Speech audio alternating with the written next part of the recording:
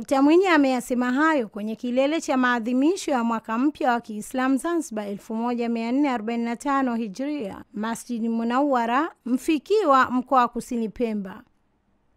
Amesema ni wajibu wa wazazi na walezi kuwasimamia vyema watoto wao na kuwapa elimu ya dini na dunia ili kuwaepusha na vitendo vya uvunjifu wa amani, tabia mbaya na vitendo vya udhalilishaji. Sote kama wazazi tuna wajibu na jukumu la kusimamia maadili ya vijana wetu.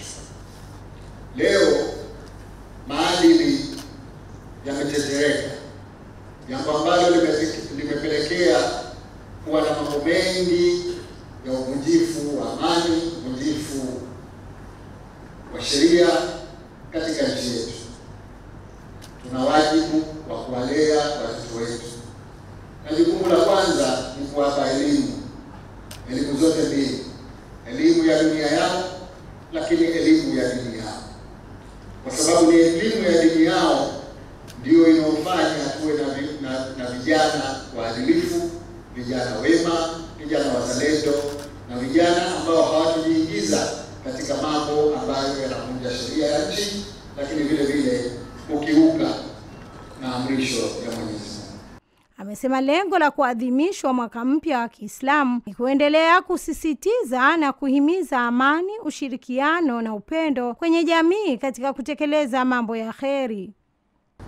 Sote tuone umuhimu wa kuendeleza amani tuliyokuwa nayo ili amani hiyo sasa ituletee uchumi uliokuwa mzuri, ituletee maendeleo katika nchi yetu, na bila shaka ndani ya amani tutaweza kufanya ibada zetu kama ambavyo tunafanya, na huku tunapofanya tunapoadhimisha mwaka huu au safari hii, nako ni kwa sababu ya amani tuliyokuwa nayo.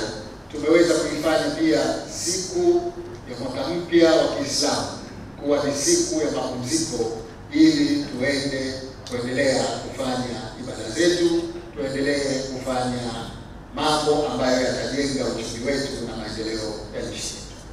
Waziri wa Nchi, Ofisi ya Rais, Katiba, Sheria ya Utumishi wa Umma na Utawala Bora, Haruna Ali Suleiman amepongeza ushirikiano uliopo baina ya viongozi na wananchi katika kuleta maendeleo ya kisiwa hicho. Akiwasilisha mada nidhamu ya kodi kwenye kongamano la mwaka mpya wa Kiislamu 1445 Hijria, Sheikh Saidi Ahmad amewataka watumishi wa umma kutumia vyema muda wa serikali wanapokuwa kwenye majukumu yao ili kukwepa kuchuma mali za dhulma. uchumi mzuri, serikali ihakikishe wana afya bora. Hapa lalenga afya pamoja na kuhakikisha serikali inawapatia raia zake ma, yani, matibabu nafuu. Lakini Uislamu haukuiruhusu suala la kuweza kuchukua kodi, ila umeweka masharti ambayo yanahitaji kwamba masharti hayo yaweze kufuatwa.